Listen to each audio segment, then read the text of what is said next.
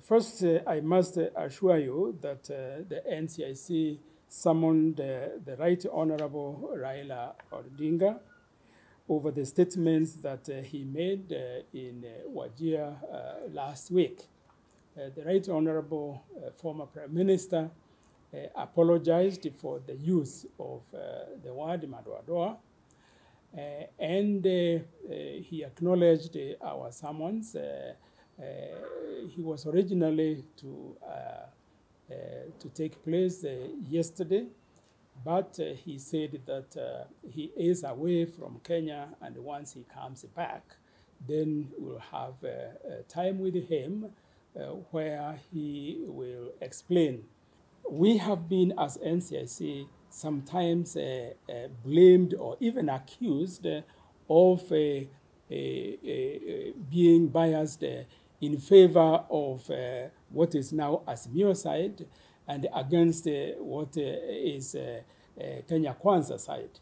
And that's not the case because if you look at the list we shared with you last time, in fact, if you count, you'll find that there are more on that list from what today is called Azimio la Umoja than in the Kenya Kwanza.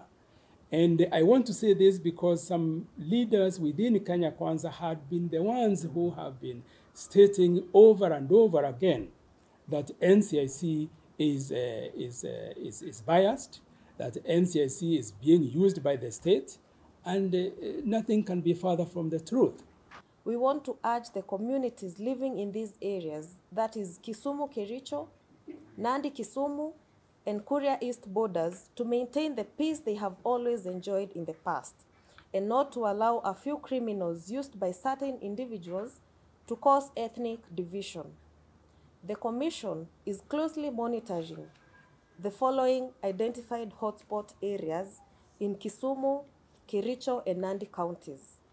These areas are the Koguta, which is in Muhoroni Kericho border, Londiani, uh, Sondu, that is the neighboring of this region, Nyagacho, which is an informal settlement in Kericho, Chebao area in Litein ward, Bureti sub-county, and Kosait ward in Ain- Ainamoi sub-county.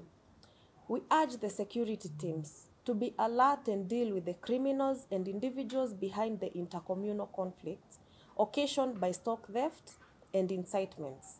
We are aware of the objectives behind such vices is to cause internal displacements. And the ongoing conflict hotspot mapping is happening in all the eight regions. These are the former administrative provinces. It is being carried out by NCIC, and we have identified the following additional counties for possible political uh, violence. That is the northeastern and coast regions. Social media platforms are awash with ethnic hatred, hate speech, and incitement to violence. Just in the month of February, for example, uh, we flagged out nine, nine cases of hate speech uh, past month. Um, I would say 80% of in, in, uh, hate speech and incitement actually happens online. Uh, they've moved from rallies and streets now to online, and that's why we are really keen on, on that uh, issue. Um, the main perpetrators of this are adding flowers of 2022 politi- politics of secession, largely Azimio la Umoja and uh, Kenya Kwanza, both uh, formations, both factions.